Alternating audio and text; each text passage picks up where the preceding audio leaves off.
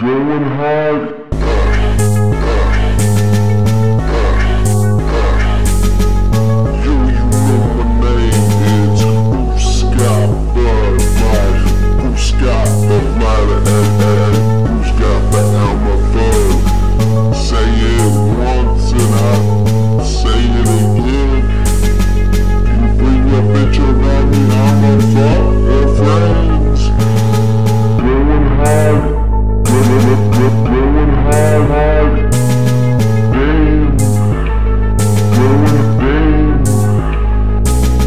Don't even give a fuck.